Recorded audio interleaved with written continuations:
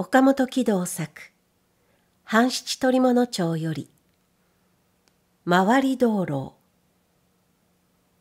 1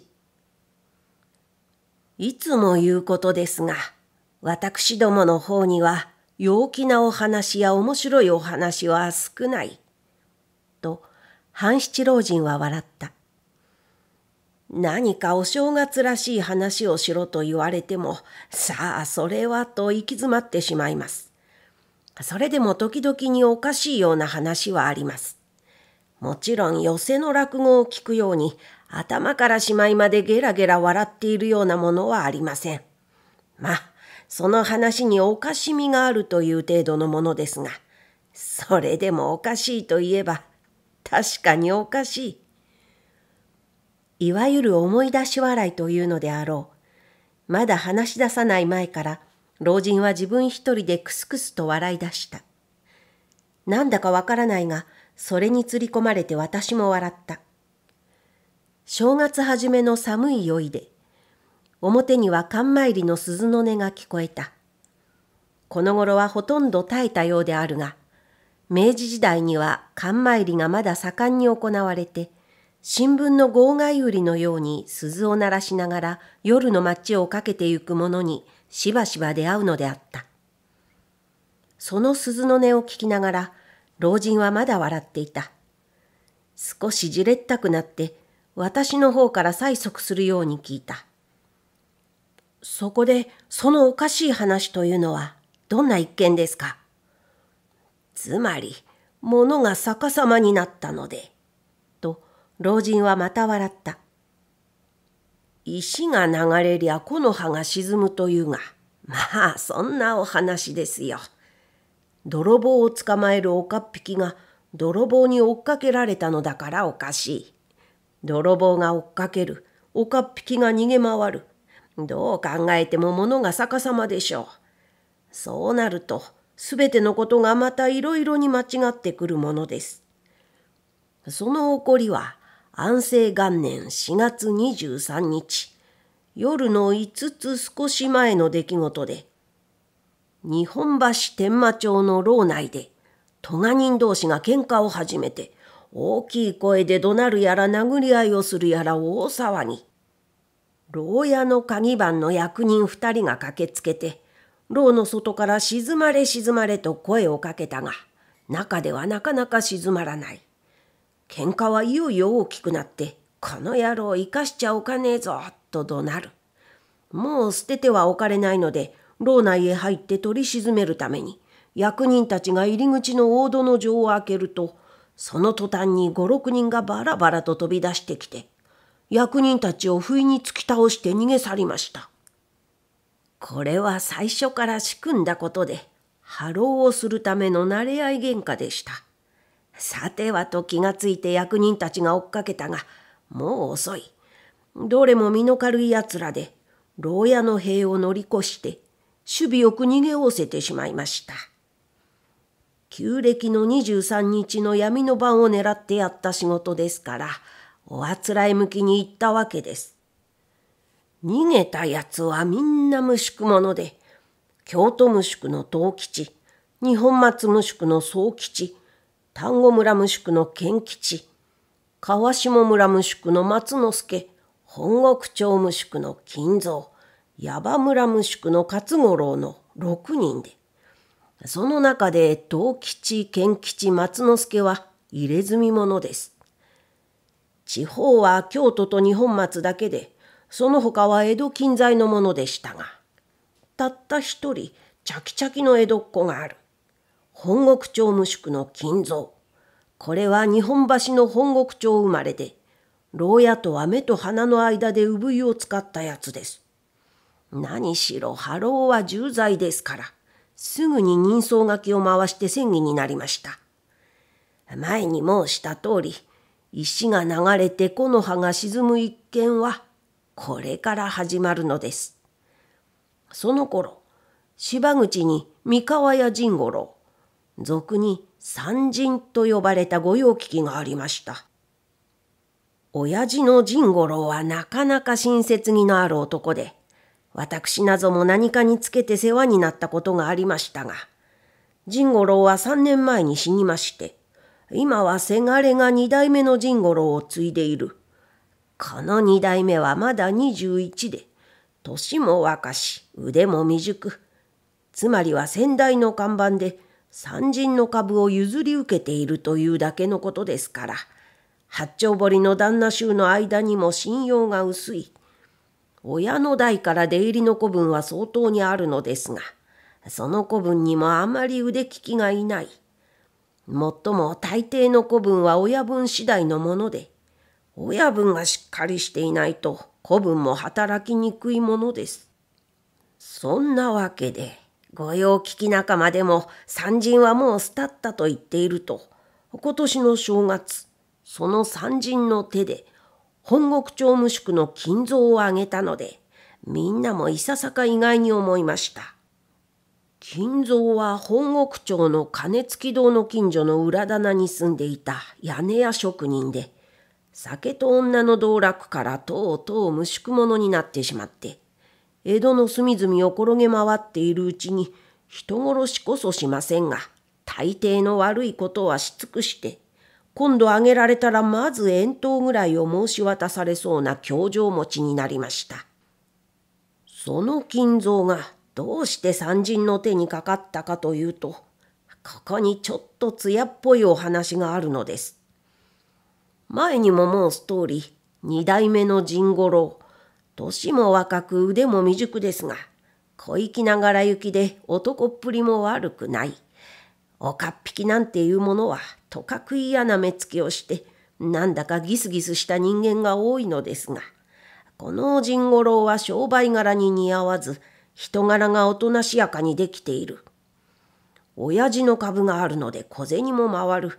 そこでいつの間にか新明前のさつきという小料理屋のお浜という娘とできてしまって始終そこへ出入りをしている。お浜のおふくろももちろんそれは承知していたのです。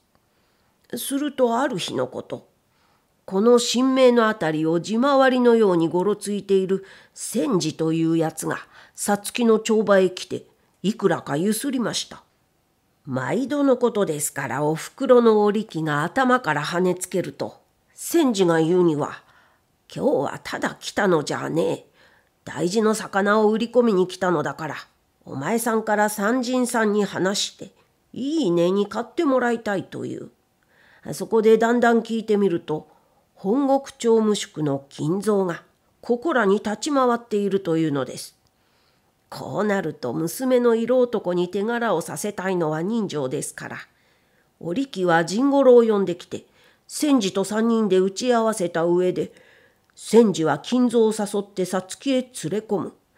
しかしここですぐに飯取っては店にも迷惑がかかりますから。金蔵が酔って表へ出るのを待っていて半丁ほど行き過ぎたところで甚五郎とその子分二人が御用の声をかけました。こうすれば行き合い取りということになって誰にも迷惑はかかりません。密告者の戦時も知らん顔をしていられるわけです。金蔵もなかなか手強いやつでしたが、酔っているところを不意に抑えられたので、どうすることもできない。ここでもろくも縄にかかってしまいました。これで三人は思いもよらない手柄をしたのですが、地震盤へ引かれていった時に、金蔵は大層悔しがって、どうで俺は遠投船を腰につけている人間だから、遅かれ早かれ御用の声を聞くのは覚悟の上だが、いざお縄にかかるという時には、江戸で一二といういい顔の御用聞きの手に渡るはずだ。こんな駆け出しの青二歳の手柄にされちゃ、俺は死んでも浮かばれねえ。勘畜生覚えていろ。俺が生きていればきっと仕返しをする。死ねば化けて出る。どっちにしてもただはおかねえから覚悟しろ。と恐ろしい顔をして散々に怒鳴ったそうです。いわゆる下道の逆恨みともう一つにはやけが手伝って口から出放題の単価を切るのはこんなやつらに珍しくないことで物慣れた岡っ引きは平気でせせら笑っていますが、何を言うにも甚五郎は年が若い。その上に人間がおとなしくできているので、そんなことを聞くとあまりいい心持ちはしない。と言って、もちろんこいつを許すことはできませんから、型のごとく下調べをして大番屋へ送り込んでしまいました。そんなわけで、三人は本国町の金蔵を召し取って、自分の器量を上げた代わりに、なんとなくその一件が気にかかって、死罪か遠投か早く拉致が開いてくれればいいと心ひそかに祈っている。ましてさつきのおふくろや娘はひどくそれを気にかけて、万一かの金蔵が仕返しにでも来たら大変だと心配している。そのうちに天満町の牢破り一件が起こって、その6人の中に本国町務宿の金蔵も混じっているというのを聞いて、甚五郎もひやりとしました。牢を抜けてどこへ行ったか知らないが、何時仕返しに来ないとも限らない。それを思うと、いよいよ嫌な心持ちになりました。こっちは役目で罪人を召し取るのですから、それをいちいち恨まれてはたまらない。罪人の方でもそれを承知していますから、こっちが特別に無理なことでもしない限り、どんな悪党でも取り手を恨むということはありません。したがって、取り手に対して仕返しをするなどという例はめったにない。それは三人も承知しているはずですが、気の弱い男だけになんだか寝覚めが良くない。しかし仮にも二代目の三人と名乗っている以上、子分の手前に対しても弱い顔はできませんから、自分一人の腹の中でヒヤヒヤしている。こうなると全く困ったものです。もちろんこの甚五郎がしっかりしていて、もう一度その金蔵を召し取りさえすれば何のこともないのですが、そうはいかないので、このお話が始まるのです。まあ、そのつもりでお聞きください。2この取物帳を読み続けている人々は定めて記憶しているであろう。この年の4月、半七はかの小説の絵馬の探索に取り掛かっていたのである。その間にこの牢破りの一件が出退して人相書きまでが回ってきたのでこれも打ち捨ててはおかれなくなった。親分、どうしますね？と、古文の亀吉が聞いた。重い軽いを言えば、こっちは牢抜けの重罪で、エマの一件とは一つにならねえ。と、半七は言った。しかし天満町の方は俺一人に言いつけられた御用じゃねえ。江戸中の御用聞きがみんなで働く仕事だ。エマの方は俺一人が受け合った仕事だから、この方をまず片付けなけりゃなるめえと思う。ついては、おめえと幸次郎は相変わらずエマの方を働いてくれ。天満町の方は松吉や善八に頼むとしよう。二つの事件が同時に起こるのは珍しくないので、半七はそれぞれに受け持ちを決めて働かせることになった。半七は双方掛け持ちであるが、一方の小説の絵馬の一件はすでに紹介したのであるから話の筋の混雑するのを恐れてここには一切省略しもっぱら牢破りの一件について語ることにする。5月初めの朝である。半七は町内の湯屋へ行って明け方からの小雨の中を帰ってくると格子のうちに女の傘と足田が見出された。人出入りの多いうちであるから別に気にも留めず入ってみると四十前後の見知らない女が女房のおせんを相手に話していた。お前さん、この方がさっきから待っておいでなすったんですよ。と、おせんは彼女を半七に紹介した。そうして、その土産だという高校の籠を見せた。はじめまして、お目にかかります。と女は丁寧に挨拶した。私は、新明前のさつきでございます。その名を聞いて、半七はすぐに思い当たった。彼女はさつきの織機で、何か参人にかかり合いのことで訪ねてきたのであろうと察したので、一通りの挨拶を済ませた後に半七は聞いた。おかみさんも忙しいだろうに、朝から何か休養でも出退しましたかえ早朝からお邪魔に出ましたのは他でもございません。親分も定めてご承知でございましょうが、先月の23日に天満町の牢抜けがございましたそうで、それにつきまして、少々お知恵を拝借に出ましたのでございますが。牢抜けは知っていますが、それがどうかしましたかえ実は、と、織木は少しく渋りながら言い出した。その牢抜けの中に、国長の金蔵というのがおりますそうで。その金蔵の仕返しを織木親子は恐れているのであった。飯取りの手引きをした千治も金蔵がシャバへ出たというのを聞いてどこへか姿を隠してしまった。生きていればきっと仕返しをすると言ったのであるから金蔵はきっと三人を付け狙っているにそういないと彼らはしきりに恐れているのであった。それを聞いて半七は笑った。金蔵というのはどんなやつだか知らねえが、牢抜けをした以上は我が身が大事だ。いつまでも江戸にうかうかしちゃいられめえ。きっとわらじを履いたろうと思うから、まあ当分は仕返しなんぞに来るはずはねえ。みんなも安心したらいいだろう。ところがお前さん、と織木は顔をしかめながらささやいた。千治さんのお友達が西の久保の切通しで金蔵に似たやつの姿をちらりと見たそうで、あいつが近所をうろついているようじゃ大変だというので、千治さんも早々にどこへか隠れてしまったのでございます。それにしても、お前さんのうちにまで仕返しに来ることはあるめえ。金蔵は生き合い取りになっているのだから、お前さんのうちにかかり合いはねえはずだ。私のうちへは来ないかもしれませんが、もしや三人さんの方へでも来るようなことがあると大変だと申して、娘は泣いて騒いでおりますので。娘に泣いて騒がれて、織木は三人の保護を頼みに来たのである。その親心を察しながらも、半七は一旦断った。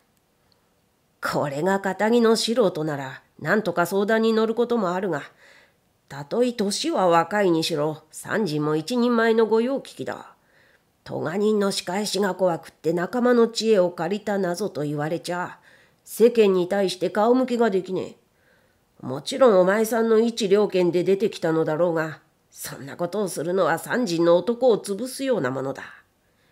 娘の可愛い男に恥をかかせちゃいけねえ。第一、三人にも相当の子分があるはずだ。その子分たちが盾になって親分の体をかばってやるがいいじゃねえか。人に頼むことがあるものか。それはもうおっしゃる通りでございますが。と織木は言いにくそうに答えた。その古文集もこの頃は頼りにならないような人が多いので。先代の没後3年の間に古顔の子分が2人も続けて死んだ。腕利きの子分2、3人は若い親分を見捨てて他の親分の手に移ってしまった。残っている子分にあまり頼もしいものは少ない。先頃金蔵を召し取ったのも彼がしたたかに酔っていたからで、もしもシラフであったらば、あるいは取り逃がしたかもしれないと織木は言った。それは半七もうすうす察していた。こんな奴らの縄にかかったのは残念だと、金蔵が自信版で怒鳴ったのも無理はないように思われた。それにしても、本人の甚五郎が頼みに来たのならば格別。表向きは他人のさつきの女房に頼まれて、うかつに差し出たことはできないので、半七はあくまでも断った。そんなことをすれば三人の顔を汚すようになるというわけを彼は繰り返して説明すると織木もこの上に押し返して言うすべもなかったらしくそれではまた改めてお願いに出ましょうと言って帰ったそれを見送っておせんは気の毒そうに言った。三人さんも困ったものですね。色男、金と力はなかりけりと昔から相場は決まっているが、岡っ引きの色男なんざどうもいけねえ。俺たちの商売はやっぱり敵役に限るな。と半七は笑った。三人のお父さんには世話になったこともありますからね。うん。三人の先代には世話になったこともある。ただ笑って見物してばかりもいられねえが、そうかといってむやみに差し出たこともできねえ。まったく困ったものだ。何のかのというものの、誰かの手で金蔵らを上げてしまえば論はないのである。人相書きが回っている以上、遅かれ早かれ網にかかるものとは察しているが、それまでの間に何事もなければいいと、半七は思った。しかし前にも言う通り、咎人が取り手に対して仕返しをするなどということはめったにないのであるから、おそらく今度も無事に済むであろうと、彼も高をくくっていた。雨は二三日降り続いた。一方の小説の絵馬の一件は、とかくにもつれて拉致が開かない。半七も少しくじりじりしていると、日が暮れてから松吉が来た。よく降りますね。いくら商売でも降ると出入りが不便でいけねえ。半七は鬱陶しそうに言った。大木戸の方はどうなりました？どうも目鼻がつかねえで困っている。そこでどうだ？こっちの一件は。天満町の牢抜けは二人挙げられました。誰と誰だ？二本松の宗吉と川下村の松之助です。金蔵の名がないので半七は失望した。この二人は中山道を落ちるつもりで板橋まで踏み出したが路用がねえ。そこらを四五日うろついた挙句に宗慶寺という寺へ入って住職と那須所に傷を負わせて十五両ばかりの金を取ったのから足がついてゆうべ板橋の女郎屋であげられたそうです。路用ができたらすぐにのしてしまえばいいものをシャバへ出ると遊びたくなる。やっぱり運の月ですね。松吉は笑っていた。他の奴らの行方は知れねえのか。二人の申し立てによると、六人は牢屋敷の外へ出るとすぐにバラバラになってしまったので、誰がどっちへ行ったか知らねえというのです。宗吉と松之助だけが一組になって、本郷から板橋の方向へ行ったのだそうで、旦那方も随分厳重に調べたようですが、二人は全く知らねえらしいのです。それじゃあちっとも手がかりなしか。と、半七はため息をついた。そうですよ。と、松吉はうなずいた。残る四人のうちで、賢吉と勝五郎はどうしたかわからねえが、藤吉と金蔵は牢内にいる時から仲が良かったから、この二人はつながっているかもしれねえということです。松之助の申し立てによると、金蔵はこんなことを言っていたそうです。俺は江戸に恨みのあるやつがあるから、そいつに意種返しをした上でなけりゃ高飛びはできねえと。意種返しをする？それがね、親分。と、松吉はささやいた。どうも三人を狙っているらしいのです。金蔵は妙なところへ見栄を張るやつで、三人のような小僧っ子に召し取られたのは、俺の顔に関わるとか、俺の治れになるとか言って、むやみに悔しがっているのだそうで、牢抜けをする以上どうで命はねえに決まっているから、恨みのある三人をばらしておいて、それから高飛びをする了見じゃねえかと思うのですが、そうなると三人もいい面の皮です。悪党らしくもねえ、未練なやつだな。と、半七は舌打ちした。そう聞くと、さっきの女房の話も嘘じゃあるめ。金蔵に似たやつが、西の久保の切通しあたりをうろついているのを見たものがあるそうだ。藤吉も一緒でしょうか？それはわからねえが、ひょっとすると藤吉に助太刀を頼んで何をするかわからねえ。三人も除災なく用心しているだろうが、とんだやつに見込まれたものだ。半七も高をくくっていられなくなった。取り手に逆恨みをするなどは悪党らしくないやつだとは思ったが、相手が恨むという以上、それをどうすることもできない。しかしそれを逆に利用して、金蔵を手元へおびき寄せ、藤吉グルメに召し取るという手立てがないでもない。俺が出しゃばるのもよくねえが、年の若え三人だけじゃなんだか不安心だ。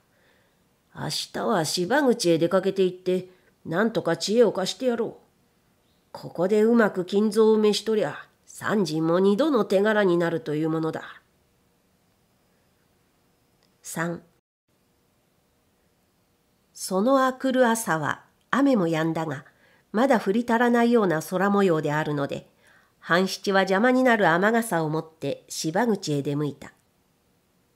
三人の家は江戸屋という蝦夷市屋の横丁の左側で前には井戸がある。その格子を開けて案内を請うと、中から若い子分が出てきた。こちらではその子分の顔を知らなかったが、相手は半七を見知っていて丁寧に挨拶した。三河町さんでございますか。ま、どうぞこちらへ。親分は内かへへえ。と、子分は曖昧に答えた。その応対の声を聞いて、また一人の子分が出てきた。それは石松と言って、半七のうちへも二三度は顔を見せた男であった。親分にちょいと会いてえのだが、と半七は重ねて言った。ええ、と石松もなんだか曖昧な返事をして、若い子分と顔を見合わせていた。留守かえええ。どこへ出かけた？御用かえいいえ。何を聞いてもぬらりくらりとしているので、半七は入り口に腰を下ろした。おめえたちも知っているだろうが、先月の23日に牢抜けをしたやつがある。そのことについて少し話してえのだが、親分が留守じゃあしょうがねえ。いつ頃帰るかわからねえかね。ええ実は、町内の人に誘われまして。と、石松はもじもじしながら言った。甲虫と一緒に身延へご参詣に参りました。なるほど。ここはホッケだね。身延参りはご新人だ。そしていつ経ったのだね?昨日の朝経ちました。それじゃあすぐには帰るめ。帰りは藤川下りだと言っていました。今年の正月に国長の金蔵を取りに行ったのは誰だね？と半七は聞いた。あの時に親分と一緒に行ったのは駒吉と私です。と石松は答えた。金蔵というのはどんなやつだ？三十二三で色の浅黒い痩せぎすなやつです。屋根の上の商売をしていただけに身の軽いやつだそうで、番屋に連れて行かれた時にも、俺は酔っていたからてめえたちに捕まったのだ。屋根の上へ一度飛び上がりゃ、それからそれへと屋根伝いに江戸中を逃げてみせるなんて大きなことを言っていました。その取り物の前後の話などを聞いて半七は一旦ここを出ると傘はいよいよお荷物になって薄い月影が漏れてきた。ここまで来たついでに新名前を訪ねてみようと彼は雨上がりのぬかるみを踏んでさつきの門口へ行き着くと小さいのれんをかけた店の右側に帳場がある。その前に腰をかけていた男が立ち上がった。じゃあ、どうしてもいけねえというのかい?中の返事は聞こえなかったが、男は脅すように言っ。じゃあ仕方がねえ。この先、何事が起こっても俺は知らねえ。その時になって恨みなさんな。のれんをくぐって出る男の前に、半七は立ちふさがった。兄、ちょいと待ってくれ。誰だおめえは？と男は目を三角にして半七を睨んだ。おめえは千治さんじゃねえか？人の名を聞く前に自分の名を言え。それが礼儀だ。礼儀とがめをされちゃ名乗らねえわけにもいかねえ。わしは三河町の半七だ。半七と聞いて男はにわかに顔の色を和らげた。彼は獲物を直しながらおとなしく挨拶した。いや、三河町の親分でしたか。おみそれ申して、とんだ失礼をいたしました。わしは神明の戦時でございます。そうらしいと思った。まあこっちへ来てくれ。半七は彼を引っ張って五六軒先の質屋の土蔵の前へ連れ出した。千治はなんだか落ち着かないような顔をしていたが、それでも素直についてきた。今聞いていりゃ、おめえはさつきの帳場でなんだか大きな声をしていたじゃねえか。喧嘩でもしたのかい？お前さんに聞かれるとは知らねえで。と、千治は頭をかいた。どうかま、お聞き流しを願います。彼がどんなことを言っていたのか、半七は実は知らないのであるが、いい加減に罰を合わせていった。うん。どうもおめえの方がよくねえようだな。あいすみません。どうぞご勘弁を願います。と、千治はまた謝った。見たところ彼はそれほど悪党でもなく、所詮は地回りの遊び人に過ぎないらしい。半七は笑いながら言った。ただご勘弁と言っても、うん、そうか、とばかりも言っていられねえ。どうもこの頃はおめえの評判がよくねえからな。ともかくもそこらの番屋まで来てもらおうか。脅されて千治はいよいよ慌てた。親分、いけねえ。番屋へ連れて行ってどうするのです？どうするものか。都合によっちゃ返さねえかもしれねえ。わしは悪いことをしやしません。これでもお上の御用を務めたこともあるので。御用を務めたというのは国長の金蔵を指したことを言うのか？と半七はまた笑った。それは俺も知っているが、今あのさつきへ行って何を言ったのだ？俺はみんな知っているぞ。恐れ入りました。恐れ入ったらもう一度ここで正直に言え。さもなけりゃ番屋へ連れて行って言わせるぞ。たかが近所の矢場や小料理屋を嫌がらせて、いくらかの飲み代をせびっているに過ぎない千治は、もとより度胸のあるやつではなかった。半七に脅されて、彼は素直に白状した。彼も金蔵の波浪に脅かされた一人で、万一金蔵が自分の密告を悟って、その仕返しに来られては大変であると思って、ひとまず品川編の友人のところへ身を隠したが、たちまちタバコ船にも困るような始末になったので、今日はこっそりと神明へ帰ってきて、馴染みの家へ無心に回ることにした。その中でも、このさつきは金蔵の一件に関係があるので、第一にここを目指してくると、帳場の女房に手強く断られた。彼も尺に触って、そんなら俺にも両権がある。何もかも金蔵にぶちまけて、ここのうちへ仕返しによこすからそう思えと、脅し文句を残して出てきた。おそらく女房も驚いて、後から呼び戻すだろうと思いのほか、相手は平気で済ましているらしく、自分が帰って半七に捕まったのである。よくよく運の悪い彼は、ただ恐れ入って謝るのほかはなかった。そこで、おめえは金蔵の居所を知っているのか？と、半七は疑うように聞いた。実はその、と、千治は再び頭をかいた。金蔵を仕返しに起こすなどと言ったのは当座のでたらめで、彼も実は金蔵のありかを知らないと言った。三人が身延参りに行ったというのは本当か？と、半七はまた聞いた。いや、嘘だと思います。と、千治はすぐに答えた。わしも今朝から聞いて歩いたのですが、ここらの甲中で身延へ行ったものはありません。三人も身延へ行ったなんて、どっかに隠れているのだろうと思います。なぜ隠れているのだ？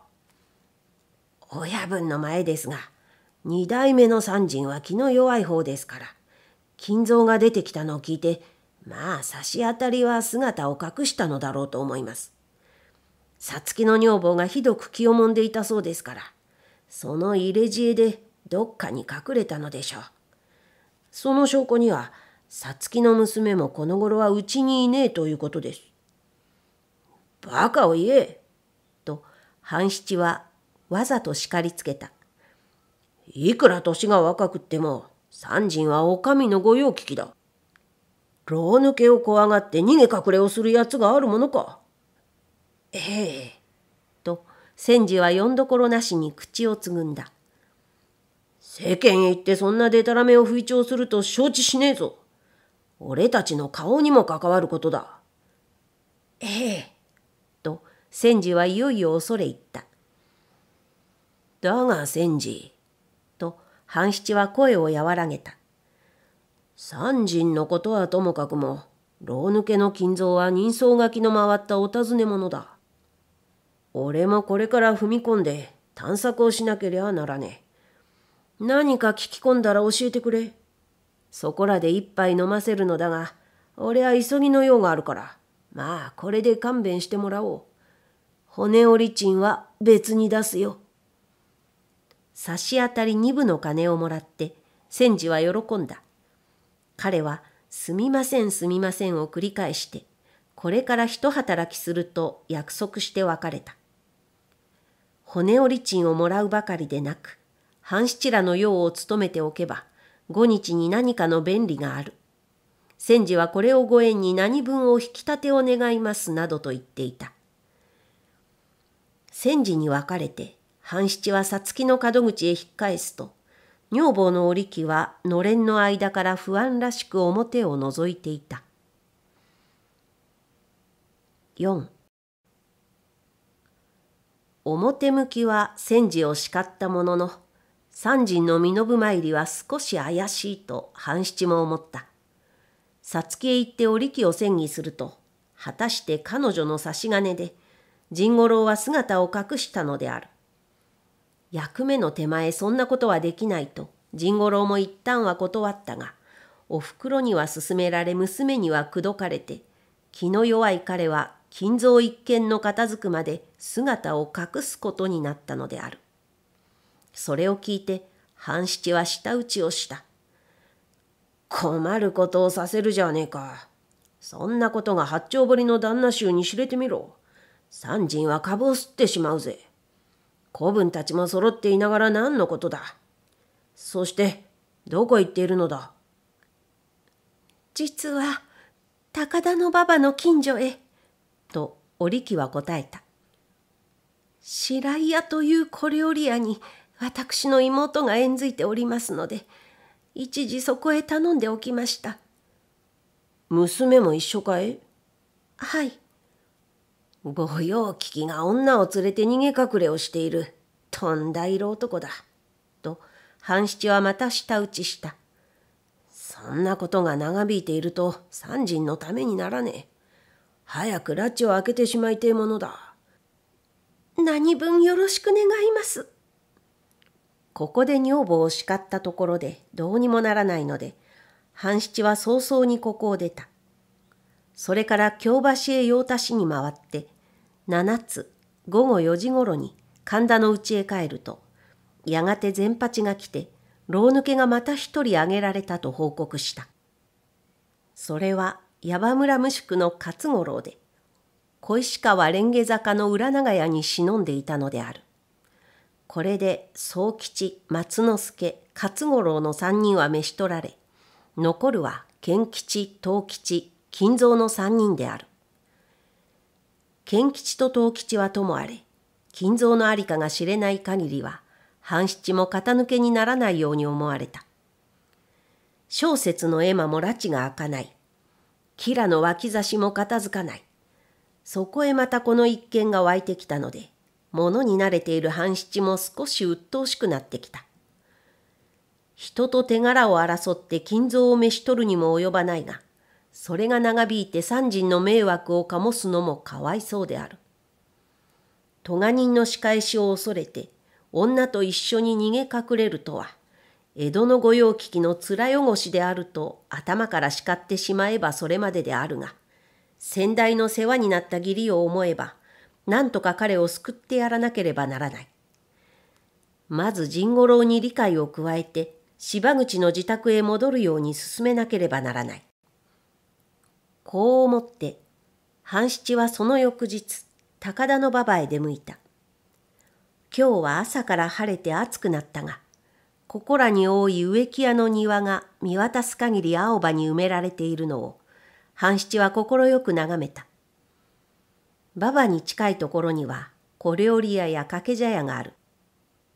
流れの速い小川を前にして入り口に小さい藤棚をつってあるのが白井屋と知られたので半七は構わずに店に入ると若い女中が奥の小座敷へ案内した。おかみさんはいるかえおかみさんは岸母神様へお参りに行きました。それではご亭主を呼んでくれと言うと三十七八の男が出てきた。いらっしゃいまし。にわか天気でお暑くなりました。彼は丁寧に挨拶した。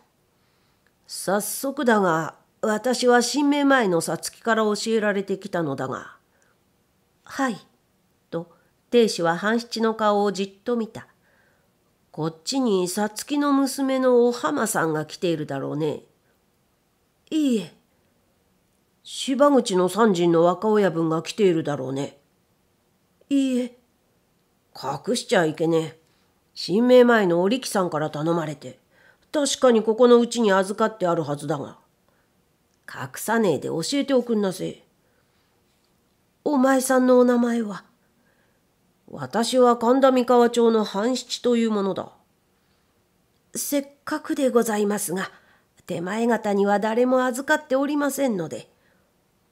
ここは白井屋だろう？さようでございます。さつきの親類だろう？さようでございます。娘も三人もここへは来ていねえというのだね。はい。いけねえなあ。と半七もじれ出した。私も三人と同商売でお上の御用を聞いているものだ。三人に少し話したいことがあってきたのだから早く会わせてくんね亭主はまだ躊躇しているらしいので半七は畳みかけていった。俺がこうして身分を明かしても、おめえはあくまでも隠し立てをするのか？俺もここまでわざわざ踏み出してきた以上、おめえたちに化かされて素直に帰るのじゃねえ。矢探しをしても三時に会っていくから、そう思ってくれ。半七の声が少し高くなった時、女中の一人が来て、亭主を縁側へ呼び出した。ちょっとごめんくださいと会釈して、亭主は早々に出て行ったが、やがて女中と一緒に帳場の方へ立ち去った。それと入れ違いに他の女中が趣向の膳を運んできた。旦那はただいますぐに参ります。彼女も逃げるように立ち去った。亭主も一旦は白を切ったものの、やがて三人を連れてくるのであろうと想像しながら、手酌でぼんやり飲んでいると、そこらの森では速い蝉の声が聞こえた。それから小半時を過ぎたかと思われるのに、亭主は再び顔を見せなかった。女中も寄りつかなかった。一本の徳利はとうに空になってしまったが、誰も買いに来るものもなかった。半七はたまりかねて手を鳴らしたが、誰も返事をしなかった。人質に取られたような形で半七はただつまらなく座っていた。出入りの多い客商売であるから人目につくのを恐れて娘と三人を他の家にかくまってあるのかもしれないと半七は考えた。それを呼び出してくるので少し暇取るのであろうから野暮に催促するのもよくないと諦めて彼は根よく待っているうちに庭の池で鯉の跳ねる音が聞こえた。ここらの習いでかなりに広い庭には池を掘って右輪にはあやめなどが植えてあった。青いすすきも相当に伸びていた。退屈しのぎに庭下駄を突っかけて、半七は池のほとりに降り立った。大きい柳に寄りかかって何心なく水の上を眺めているとき、誰か抜き足をして忍んでくるような気配を感じたので、油断のない彼はすぐに見返ると、人の背ほどに高いツツジの影から、一人の男が不意に飛んで出て、半七の腕を捉えた。御用だ神妙にしろ半七は驚いた。おい、いけねえ。人違えだ。言ううちにまた一人が現れて、これも半七に組みついた。違うよ、違うよ。と半七はまた怒鳴った。何を言いやがる。御用だ、御用だ。二人は無に無残に半七をねじ伏せようとするのである。もう言い訳をしている暇もないので、半七は迷惑ながら相手になるのほかはなかった。それでも続けてまた怒鳴った。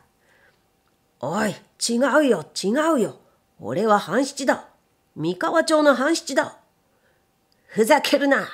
人相書きがちゃんと回っているのだ。と、二人は承知しなかった。一人にたぶさをつかまれ、一人に袖をつかまれて、半七も散々の体になった。おとなしく縛られた方が無事であると知りながら、いっぱい期限の半七は尺に触って相手を殴りつけた。手向かいをする以上は相手はいよいよ容赦しない。一人は半七の懐へ入って、後ろの柳の木へぐいぐいと押しつけた。一人は早縄を半七の手首にかけた。バカ野郎秋めくら人違えを知らねえかいくら怒鳴っても相手は聞かない。店の方からも火星として、亭主や料理番や近所の男らしいのが五六人駆け集まってきた。こうなっては所詮かなわない。三河町の半七、大勢に押さえつけられて、とうとうお縄を頂戴した。ざまあみやがれ。と男の一人は勝ち誇るように言った。俺たちに汗をかかせやがって、この野郎、ひっぱたくからそう思え。と、他の一人も罵った。ひっぱたかれてはたまらないので、半七も素直に謝った。まあ、堪忍してくれ。神妙にするよ。そんならなぜ初めから神妙にしねえ？どうで首のねえやつだ？生きているうちにちっと痛え思いをしておけ。と一人がまた罵った。首のねえやつ一体俺を誰だと思っているのだ？知れたことだ。国長無宿の金蔵よ。半七はあっけに取られたが、やがてニヤニヤと笑い出した。五。半七を縛ったのは、ここらを縄張りにしている戸塚の一蔵の子分らであった。神田と戸塚と離れていても、古参の子分ならば半七の顔を見知っているのであったが、あいにく古参の連中は居合わさず、駆け出しの若い者ばかりが飛んできたので、こんな間違いが出退したのであった。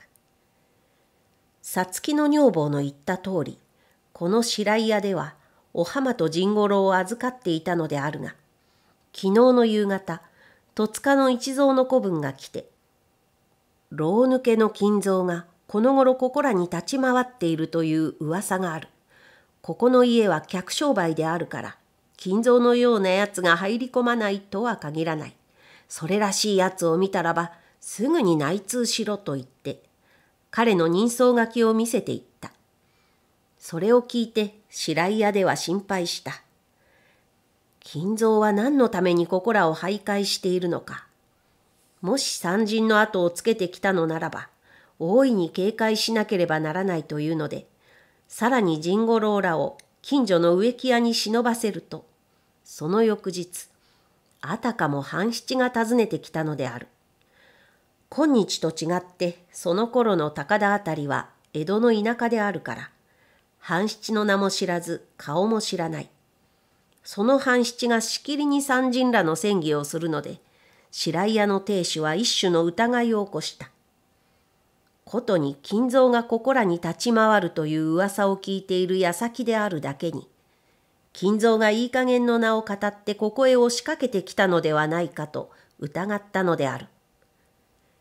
もう一つ間違いの種となったのは半七と金蔵とが年頃といい人相や格好までがかなりに似通っていることであった。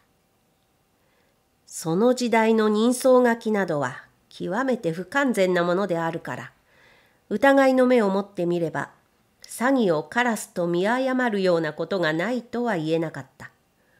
雑司ヶ谷から帰ってきた白井屋の女房は遠目に半七を伺って一途にそう信じた。亭主も同じ疑いを抱いていたので夫婦は相談の上で戸塚の一蔵に密告した。一蔵がすぐに出てくればもちろん何の間違いも起こらなかったのであるが一蔵も留守古参の子分も留守そこに居合わせた若い子分二人があっぱれの巧妙手柄を表すつもりですぐに駆けつけてきた。相手は牢抜けの大物であるというので離れない彼らは少しくのぼせ気味で何の戦議もなしに召し取ろうとしたのである。咎人が人違いとごまかすのは珍しくないので、いかに半七が人違いと怒鳴っても、彼らは耳にもかけずに押さえつけたのである。数ある取り物のうちには、人違いの子孫児もしばしばある。しかも同商売の岡っ引きを縛って勝ち時を上げていたのは、戸塚の子分らの大失敗であった。やがて駆けつけてきた一蔵は、半七の顔を見てびっくりした。バカ野郎と彼は子分を叱りつけた。とんだことをしやがる。早く縄を解け。半七の縄はすぐに解かれた。事の司祭が判明して子分らは並行した。白井屋の夫婦も縮み上がった。三河町には何と謝っていいかわからねえ。と一蔵もひどく恐縮していた。こんなボンクラ野郎を叱ってみても追っつかねえ。まあ、高田の馬場の狐につままれたと思って、了見しておくんなせえ。それもこれも商売に身を入れるからのことだ。あんまり叱らねえがいい。バカバカしいとは思いながら、半七も仲間同士の義理として、まずそういうのほかはなかった。一蔵は子分らを散々謝らせて、それから近所の神結を呼んで、半七の髪を結い直させた。白井屋も恐れ入って、あらん限りの魚を運び出してきた。一座は打ち解けて、笑い声が高くなった。そのうちに、一蔵は少しく真面目になって言い出した。この野郎どもがのぼせるのもまんざらありくつがねえわけでもねえので、国長の金蔵はどうもこの辺に立ち回っているらしい。というのは、ここらに遊んでいる元助というやつが、早稲田の下馬地蔵の前を通りかかると、すれ違った男がある。向こうは顔を背けて早々に行き過ぎてしまったが、確かに金蔵に相違ねえという。何分聞き捨てにもならねえので、昨日から手配りをしていると、その最中にお前さんが出てきたので、とんでもねえ大しくじりをやったわけだが、金蔵のやつ、なんでここらをうろついているのか、それがわからねえ。今まで調べたところじゃ、ここらに身寄りもねえらしい。なるほど。わからねえな。半七はいい加減に調子を合わせていたが、この話の様子では、金蔵は執念深く三人を付け狙っているらしくも思われた。一蔵はその事情を知らないようであるから、何かの心得のために話して聞かそうと思ったが、それを言えば三人の器量を下げることになる。若い者に恥をかかせるのもかわいそうだと思って、半七は黙っていた。たんとも飲まない半七は、良い頃に座を立とうと思ったが、一蔵が除災なく引き止めて返さないので、とうとうここに小半日も居座ってしまった。一蔵は子分に送らせると言ったが、まだ明るいので半七は断って出た。出るときに白井屋の亭主を呼んで半七は小声で三人の隠れ家を聞くと今度は亭主も安心して正直に教えた。お浜と甚五郎はここから一丁ほども離れた植木や新兵衛という者の家に忍んでいるのであった。馬場に近いところには町屋も続いているが、それが切れると一面の田畑である。そこらには河の声が乱れて聞こえた。夏の日が落ちても辺りはまだ薄明るい。半七は迷うこともなしに上新の門口へ行き着いた。門に大きい柳が立っている。それを目印に立ち寄ろうとして、半七はにわかに立ち止まった。どこから出てきたか知らないが、自分と同じ年頃らしい一人の男が、一足先に来て、その門口に突っ立っているのであった。ここらの植木屋は厳重に柿を言わないで、表が植木だめになっているのが多い。半七はその植木だめの八つ手の墓毛に隠れて、男の挙動を伺っていると、彼はしばらく内を覗いていたが、やがて柳の下をくぐって入った。半七も抜き足をしてその後をつけた。ただの家と違って、こういう時には植木屋は都合がいい。半七はそこらに雑然と植えてある立ち木の陰に隠れながら、男の後についていくと、彼は入り口の土間に立って声をかけた。ごめんなさい。はいはい。内からは女房らしい女が出てきた。こっちに芝口の三人が来ているね。と男は慣れ慣れしく言った。いいえ。隠しちゃいけねえ。男は笑った。ちょいと三人に合わせてくれ。俺は三河町の半七だ。半七は驚いた。それと同時にこの偽物の正体も大方は分かった。半七は息を殺して伺っていると、偽の半七はまた言った。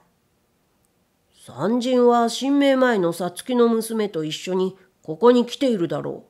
それまで知っているのだから、うろんなものじゃねえ。三河町の半七といえば、三人もよく知っているはずだ。ちょいと呼んでくれ。女房がまだ躊躇しているので、男はじれ出した。まだわからねえのか。俺は半七だよ。三河町の半七だよ。うるせえな。半七はここにいるよ。と、半七は男の前にずっと出た。男はぎょっとして半七を見返ったが、彼もさすがに目が早い。たちまちに身を翻して、そこらの植木だめの中へ飛び込んだかと思うと、枝をくぐり葉をかき分けて飛鳥のごとく表へ逃げ出した。半七も続いて追って出たが、もうその頃は往来もだんだんに薄暗くなっていた。こういう場合、ただ黙って追うよりも、声をかける方が相手の肝をひしぐことになる。半七は後ろから怒鳴った。国長の金蔵、待て半七の目に入った以上は逃がさねえぞ日が暮れると、ここらに往来は少ない。逃げる者は道を選ばず、田や畑の間をぐるぐると逃げ回って、穴八幡の近所へ来た頃には、辺りは全く暮れきった。男は暗い女坂を逃げ登るので、半七も混よく追っていったが、坂上の蝶子鉢のあたりでついにその姿を見失った。こうと知ったら一蔵の子分に送らせてくればよかったと、今更悔やんでももう遅い。今日は半七にとって暦の良い日ではなかった。そこらの大樹の上で彼を笑うようなフクロウの声が聞こえた。6器量の悪い話をいつまで続けても仕方がありますまい。もうここらでご面を被りましょうか。と半七老人は笑った。でもここまでじゃ話がわかりません。と私は言った。そこでその金蔵はどうなりました？私は穴八幡からすぐに戸塚の一蔵のところへ行って、上心へ立ち回ったやつは金蔵にそういないと知らせると、それというので一蔵をはじめ古文総出で探索にかかったのですが、金蔵の行方はどうしても知れないので、みんな虚しく引き上げました。私もかかり合いですから、その晩は一蔵のうちの厄介になって、あくる朝、再び上心へ訪ねていくと、三人もお浜ももういないのです。どこへ行ったんです？一旦は白井屋から上心へ預けられたのですが、そこへ金蔵が押しかけていったので、上心でも驚く。白井屋でも心配する。お浜は泣いて騒ぐ。そこでまた、三人と浜を四谷町の痛み屋という酒屋へ預けることになりました。ここも白井屋の親類だそうです。三人も気が弱いに相違ありませんが、何しろお浜が心配して、気違いのように騒ぐので、それに引きずられて逃げ回ることにもなったのです。私も忙しい体で、三人の後を追い回してばかりもいられませんから、もう思い切って神田へ帰りましたが、後で聞くと、いやどうも大変で。何が大変で？何がと言って。と老人は笑い出した。その痛み屋の近所へも金蔵らしいやつが立ち回ったというので、三人とお浜は四谷町を立ち退いて、今度は板橋へ行く。その板橋へも金蔵が来たというので、今度はまた練馬へ行く。そこがまた行けないと言って今度は三河島へ行く。まるで大根かつけ菜でも仕入れて歩いているような始末で、まったく大笑いです。つまり疑心暗鬼とかいう例えの通りで、怖いと思っているから少し怪しいやつが立ち回ると、それが金蔵らしく思われるのです。何しろ小一月の間に高田の馬場から四谷町板橋練馬三河島を逃げ回って松戸の宿まで行った時に金蔵が召し取られてまず安心ということになりました。戸が人の逃げ回るのは珍しくないがおかっぴきがこれだけ逃げ回るのは前代未聞で二代目の三人いいお笑い草になってしまいました。そうでしょうね。と私も笑った。その金蔵はどこで挙げられたんです？いや、それについては三人ばかりを笑ってもいられません。私もお笑い草のお仲間入りで。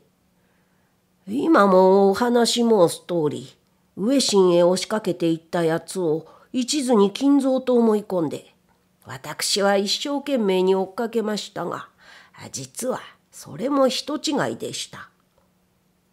金蔵じゃなかったんですか？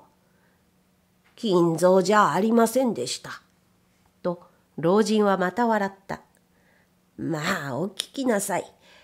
5月の末になって例の明神の戦時が私のところへ来まして、金蔵は王子稲荷のそばの門蔵という古金会のうちに隠れていると中心しました。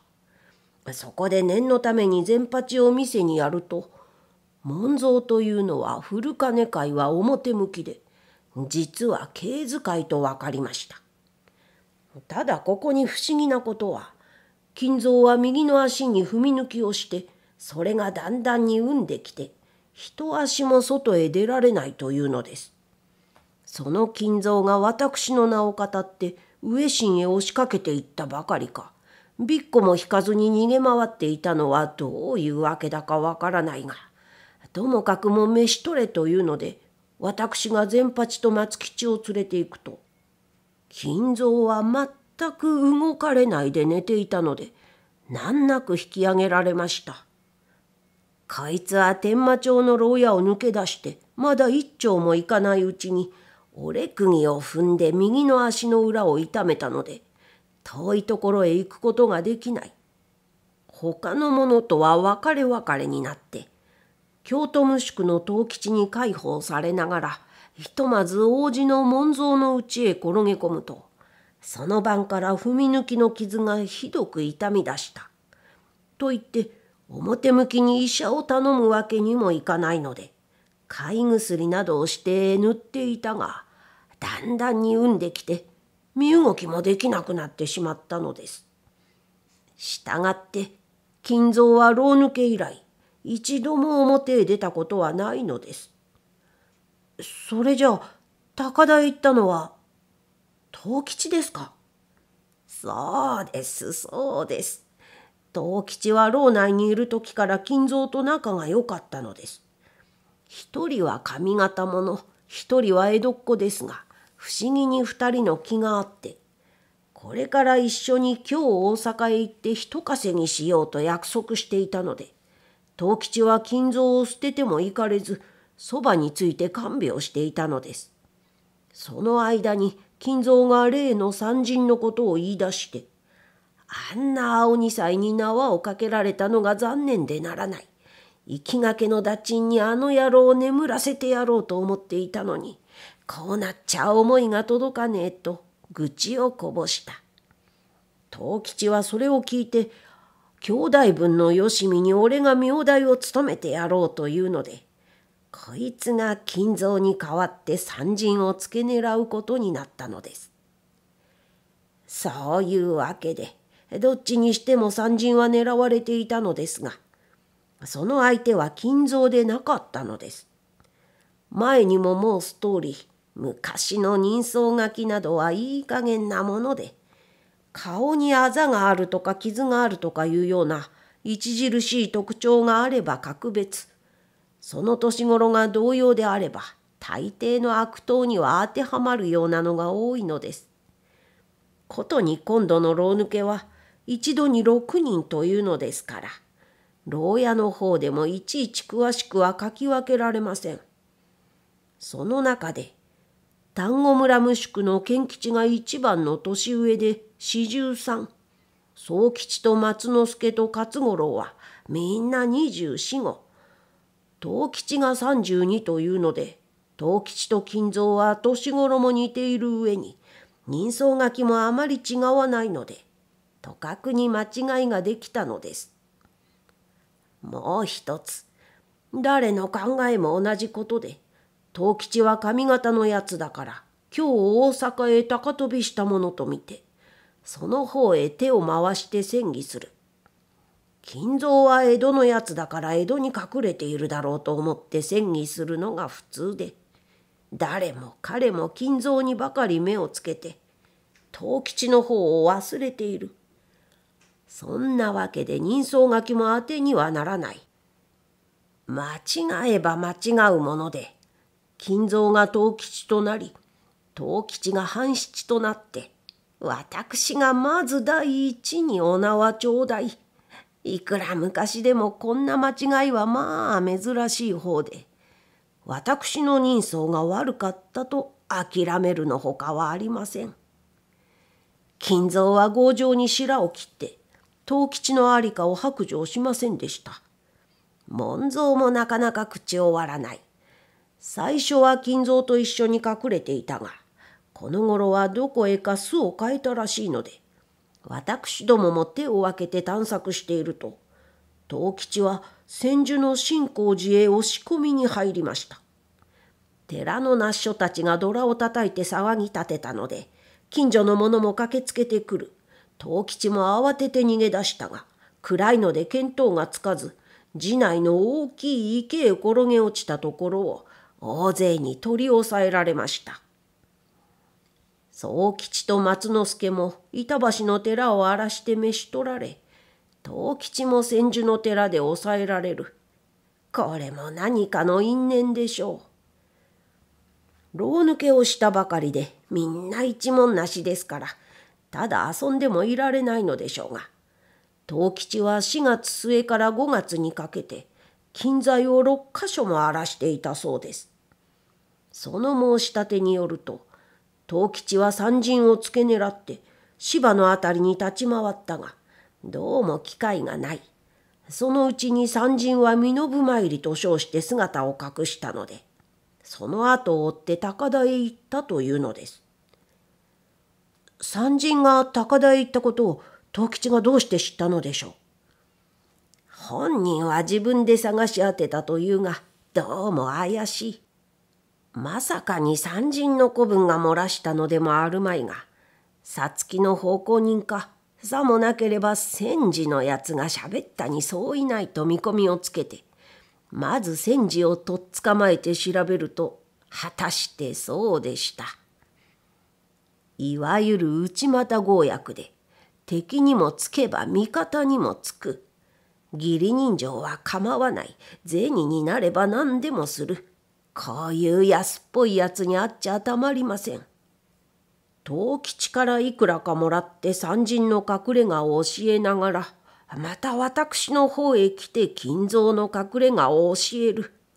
どうにもこうにもしようのない野郎で、藤吉と一緒に暗いところへ放り込んでやろうかと思ったのですが、何しろ金蔵の在りかを密告した功があるので、まあ助けておいてやりました。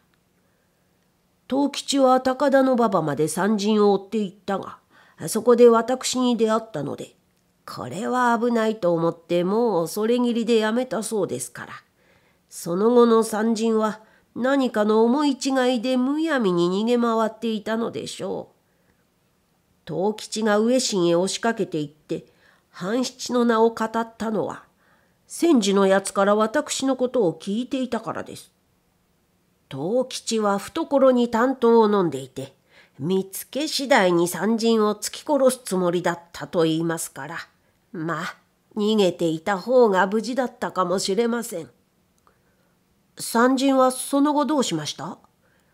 こうなっちゃあ旦那方の信用を失い、仲間の者に顔向けもできず、とうとう二代目の株を捨てて、さつきの婿のようになってしまいました。かわいそうに三人だってそんなにひどい育児なしでもないのですがそばに女がついていてこれがむやみに心配して騒ぐのでとうとうこんなことになったのです。女に惚れられるのは恐ろしい。あなた方もお気をつけなさい。はっはっはっは。そうすると5人だけは挙げられたわけですがもう一人はどうしました？もう一人は丹後村の賢吉。こいつは年上だけにうまく逃げたと見えて容易に見つかりませんでしたがその年の秋に上総の方で挙げられました。昔でも悪いやつが無事に逃げおおせたというのは少ないものです。そこでこのお話ですが岡っ引きが逃げて泥棒が追っかける。まことにおかしいようですが、あの回り道路をご覧なさい。いろいろの人間の影がぐるぐる回っている。後の人間が前の人間を追っかけているように見えますが、それが絶えず回っていると、見ようによっては前の人間が後の人間を追っているようにも思われます。人間万事回り道路というのはこんな理屈かもしれませんね。